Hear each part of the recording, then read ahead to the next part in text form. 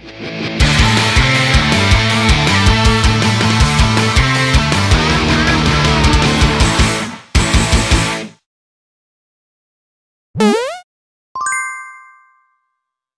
everybody, welcome back to the channel. Today we are playing Subaru Engine Cornador. Dead person doctor. Hey everybody, welcome back to the channel. Today we are playing Subaru Engine Coroner. So what I got in front of me is a bottom end, or I guess a rotating assembly, because it's not really the bottom because it's in the middle. This is an FB25 out of a 2013 Subaru Forester. So like I said, this is a Subaru FB engine. It's kind of similar to an FA, but not really. Uh, the FA and the FB, they both have different heads, pistons, rods, a lot of different things, but they are very similar, but they're not. The FBs will be found in your everyday, you know, legacies, non-turboed, in a, you know, Foresters, Outback, stuff like that. The FAs, on the other hand, uh, the high compression version is found in the BRZs. Uh, the turbos are going to be found in your Ascents, your WRXs, your XT, stuff like that. They took the replacement of the EJ series of engine, which Subaru used for a very long time. This is the first F series of block that I've ever taken apart or got down to bare block. And if you sit an EJ series of engine beside the F series of engine, they are similar, but they are also very different. One thing that I noticed right away was on the EJ series of engine, you have four individual plugs that you have to pull out and you actually separate the piston from the rod in order to dismantle the engine. The F series of block, you do like any normal engine where you take the, you disconnect the rod from the crank and you pull it out the cylinder, rod and piston as one. This engine came out of a 2013 Forester and it came in with a horrible rod knock and as I got it like down to bare block now, um, cylinder one is not in sync with the other three cylinders. So what we are gonna do is we are going to split the case half. Well, we're gonna remove the rods and the pistons, split the case half and uh, see what the damage is. So after making a peanut butter and jelly sandwich, I have to go back to the old shop because on the F-Series of engine, the rod cap bolts are, I believe they call them inverted Torx. And I don't have any at the new shop, so I gotta run back to the old one, dig through the toolbox, see if I can find the right size I need. All right, we are leaving the old shop, E14, the socket I needed, found it. Definitely gonna invest in a set of these just so I have them. Um, stopped over to see mom and dad. Mom made sausage gravy, so I was there a little bit longer than I wanted to be. Well, um, I will admit to all of you guys, I'm not ashamed. It's, this is a learning experience for me. Um, I was wrong. So the, like I said earlier, the FAs and the FBs are different, and I've never done one of these before, and this is all new to me. Uh, FA rod cap bolts are E14s and the FB uh, rod cap bolts are E12s. So tomorrow I'm going to go to the harbors of the freight and pick up a um, set of inverted Torx sockets. So I think tonight we're gonna be done and I will see you tomorrow night. The next day. So we are back, day two of tearing into the FB engine. I did not go to Harbor Freight. I went to the old shop and dug through the toolboxes some more and found the socket I needed. Just to give you an idea, I told you yesterday, or well, earlier in the video, that uh, cylinder one was not, uh, not doing too well. And uh, well, uh, I don't think thicker oil is going to take that knock away, but, or Lucas anyway. And just to give you a visual, this is the head gasket that came off of the FB engine, and this is an EJ head gasket. This came out of the STI in 2020 when I did the big build. E12 inverted Torx socket. Give a little hit. All right, loose there.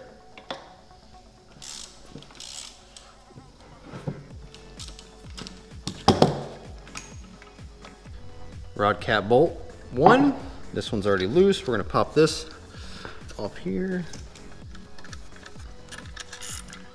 Ooh, buddy. Here we go. Let's see the damage. Ooh, very nice.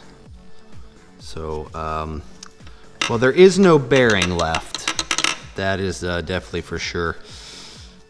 The crank is pretty gouged up gorged up. Let's pop this one out.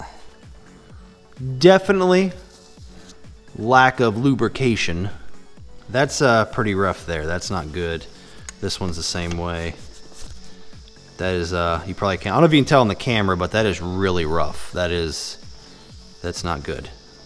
So this cylinder basically is garbage. I'm gonna take a look at the actual cylinder walls and see what they look like. I don't know if you can see, but there is no cross hatching left. It is literally um, gouged up and down with the piston. So when the piston went around and went up and down, it gouged the uh, cylinder wall pretty bad. So I'm gonna go ahead and pop the other three pistons out and uh, we'll get ready to split the case. You'll do cylinder one and four. So this is one, two, three, and four um, when you do the rod caps. So cylinder four, hey, this one still has a bearing in it. That's good. Yeah, that is a complete night and day difference. That's actually looks really good. Uh, there is no scoring on the bearing. Yeah, that one still looks really good. It's crazy how cylinder one basically ate itself and the other one, well, at least cylinder four still looks good. The bearing does not look terrible. It's got some marks in it if you can see. See those? I think there was definitely some dirt and debris in the oil. It kind of got to the other bearings, which, you know, you completely lost a entire rod bearing. So there's going to be some stuff floating around in the oil. So this will be cylinder two. Yep, one, two. This one is broke free. Go ahead and jump around to, there is my dog. Why is, Dio, why are you out of the cage? Hold please. Well, after uh, corralling my dogs and eating a banana and getting a glass of milk, I think we're ready to continue now. I don't remember where I left off. Uh, this, this looks loose, I think. Okay, this is cylinder number dos. This one felt, felt pretty good, no play. Oh, there goes the cap. Cylinder two, cap, uh, you got some scoring right there if you can see. Put up the camera. You can see the line, got some scoring there. So, yeah. Definitely, and a bunch of chunks out of it. Definitely had some stuff floating around the oil. But like I said, you know, you, you eat a bearing and a, a bearing disappears in a cylinder. You're gonna have some stuff floating around. All right, so this one, same thing, definitely. Um, man, the sidewalls on these things are just ate up. I mean, that the skirt of the piston is ate up, and then, then oh yeah, same. Oh geez, this one left. Yeah, this one's like valleys in the cylinder wall, and the and the skirt here is just that's rough. That's like 60 grit. All three cylinders that I've removed, um, the cylinder wall and the the piston skirt is completely gouged and ate up. So a lot of uh, bearing material floating around in the oil. All right, cylinder three. Oh, there goes the bearing. Bearing is lost, so let's pop out. Oh, God. Oh, there's the bearing out of the rod. So this is the rod. Oh, buddy. Oh, jeez. All right. This is the bearing that was on the rod itself, not the cap. Um, yeah. Again, cylinder three, the piston skirt is completely ate up. And oh yeah, cylinder's gone too. So this part right here is very similar to an EJ. You have 10 12 point bolts, 12 millimeter 12 point bolts that hold the case half together. And on the side here, you have five 12 millimeter uh, bolts that hold the top half of the case together. This is very similar to an EJ. I'm going to hit these with the impact and see if I can get them to budge. If not, we will get the breaker bar. You had to run through each of these and hit them with the breaker bar. Not, they weren't terribly tight, but I think my battery is running low. Um, yes, I'm using a chrome socket. It's only 12 millimeter, 12 point socket I got, so whatever.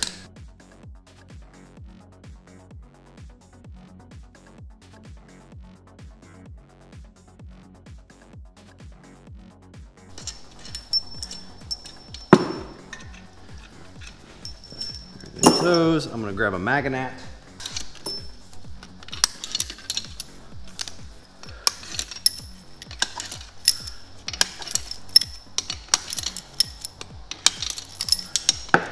Dropping washers. We are ready to split the case half. So my STI, this actually fought me a little bit when I split the case half. Did not want to come apart. So This one I can be a little more rough with because it's not it's it's junk. I'm not going to do anything with this engine, so I'll probably end up using the big freaking hammer.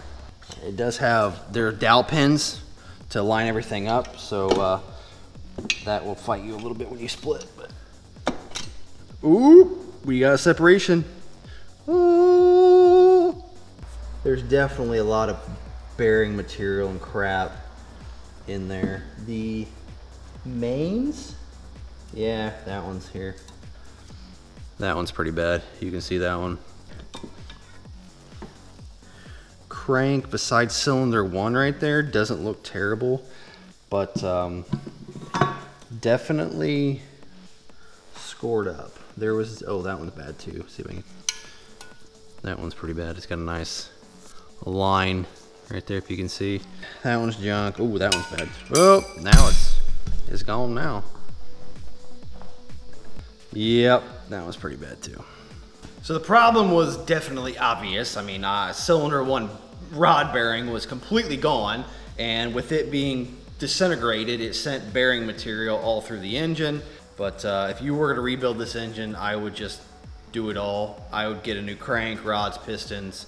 Well, actually, the cylinder walls were scored up bad too that I don't even know if you could save the block. Basically, you would need a, I would go short block if this was my engine or a customer engine. Somebody just honked at me. How you doing? Um, but yeah, it's pretty tore up. Short block would be your best option. So after filming about three minutes of video to end this video off explaining what we're gonna be doing in the next couple of videos and into the fall, I went back in to edit and found out that the um, audio was garbage. So now I have to redo this part of the video. Summer might be winding down, but we still have lots to do and lots of videos planned. So um, this weekend is my birthday weekend. Next weekend is Gearhead Fest in uh, Springfield, Ohio, which is a really cool car show.